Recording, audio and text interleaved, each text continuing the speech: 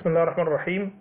في الفيديو بتاعنا ده هنتكلم إن شاء الله عن أول آه، مجموعة أو فصيلة من المركبات العضوية وهي الألكانات أو ال alkanes ال alkanes دي بتعتبر تنضم إلى ال hydrocarbons يعني مركبات الكربون والهيدروجين اللي بيكون فيها كل ذرات الكربون والهيدروجين عاملين روابط مع بعض من النوع ال single bond أو ال sigma bond الصيغة العامة للألكانات بتكون C n H 2 n plus 2 يعني أنا عندي لو الكربون هنا عندي ذرة كربون واحدة يبقى معنى كده إن أنا عندي أربع ذرات هيدروجين مرتبطة بيها طبعا لأن الكربون آه، بيقدر إن هو يعمل أربع روابط من النوع سيجما وعشان كده استنتجوا هنا الصيغة العامة. لو عندي كربون مثلا في آه، عندي عدد ال carbons اثنين زي في مثال الإيثان هقدر إن أنا أقول إن أنا عندي C2H2N يعني 2 في 2 ب 4 زائد 2 ب 6 يعني C2H6 دي الصيغة العامة للإيثان.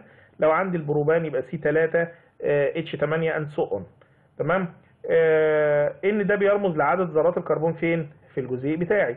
فالسلسلة من الألكانات بتكون آه، سلسلة إيه؟ طبعا مشبعة زي ما إحنا قلنا saturated قبل كده وقلنا كمان إن هي بتكون مفتوحة. open chain وليها unlimited number of carbons النقطة الثانية طرق تحضير ال alkanes. بيقول لي إما إن أنا بقدر أعمل hydrogenation لل alkenes أو ال alkynes عن طريق تفاعل addition زي ما اتكلمنا في الفيديو السابق عن انواع التفاعلات. هنا بيكون في تفاعل addition اللي هو ال hydrogenation. ال alkenes أو ال alkynes بتتميز بوجود double bond أو triple bond بقدر ان أنا اعمل hydrogenation يعني اضافة هيدروجين اضافة هيدروجين بيضطر ان هو يكسر الرابطه ال double ويضيف عليها الهيدروجين فبالتالي بتتحول إلى المركب بتاع ال more saturated في طبعا التفاعل ده بيتم على سطح catalyst اللي هو النيكل عند درجة حرارة من 200 ل 300 إيه درجة.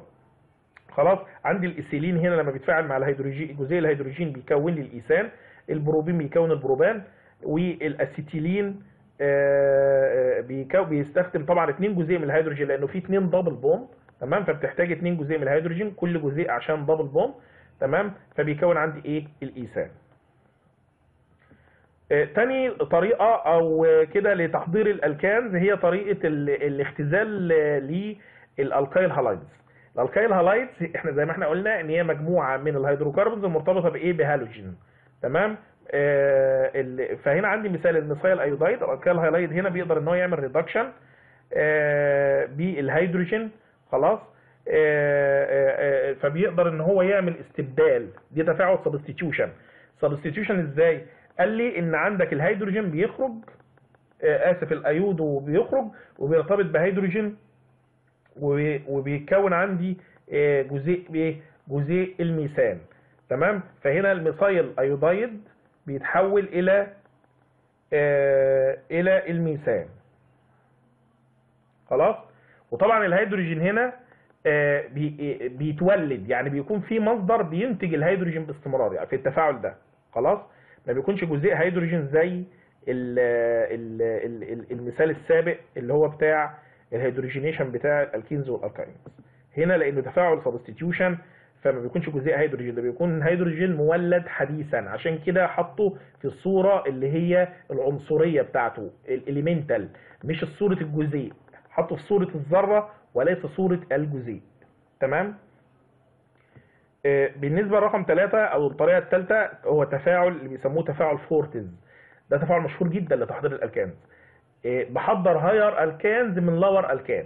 عن طريق إيه؟ عن طريق إن أنا بفاعل ال alkyl halide ال RX الصيغة العامة لل alkyl halide اللي هي ال RX حيث ال R ديت هي آه، آه، سلسلة آه، هيدروكربونية مشبعة. تمام؟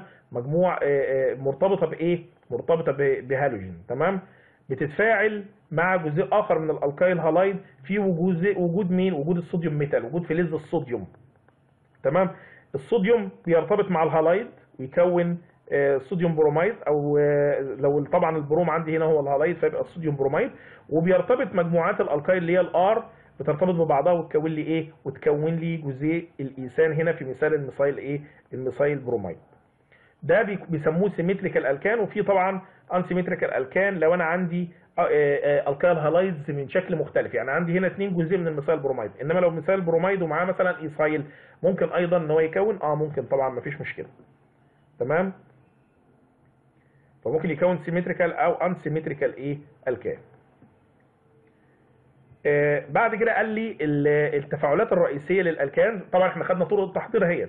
في تفاعلات بقى لل alkanes. ال alkanes لأن هي مركبات مشبعة saturated ذرات الكربون فيها بتعمل روابط أحادية فقط سيجما فبالتالي أنواع التفاعلات بتاعتها لازم تعتمد على إيه؟ ال substitution وليس ال addition. إحنا قلنا ال addition لما يبقى في عنده double أو triple bond وال elimination ممكن إن أنا أعمل لينها اليمينيشن لكن إن أنا أساس بالنسبة لي الأساس عندي هو ال substitution الاستبدال.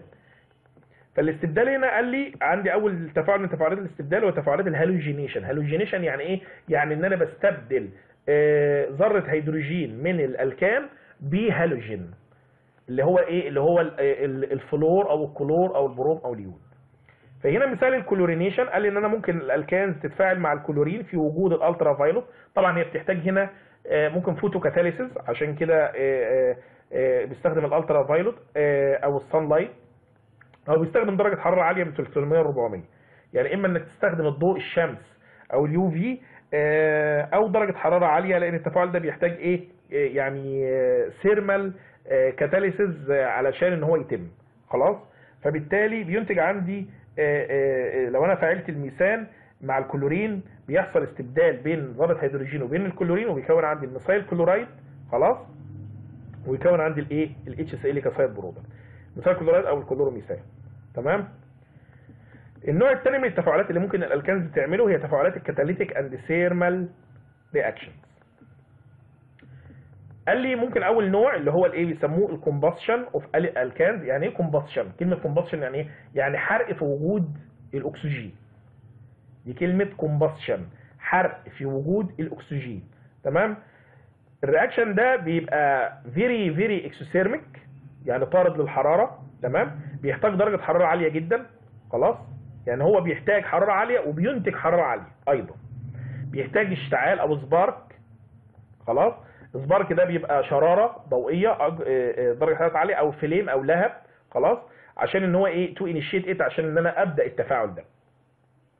التفاعل ده بيبقى ال mechanism بتاعه free radical chain mechanism يعني طريقته بت... بت... أو طريقة تكوين ال product بتاعه بتكون كده لكن إحنا هناخد المعادلة العامة. المعادلة العامة عندي هنا البروب... البروبان بيتفاعل مع خمس جزيئات من أو خمسة مول من الأكسجين عشان يكون عندي آه، ثاني اكسيد الكربون وإيه وبخار المية وينتج عندي طاقة كبيرة جدا. عشان كده هو exothermic الطاقة دي بتقدر ب 534 kilocalorie per mole لكل مول.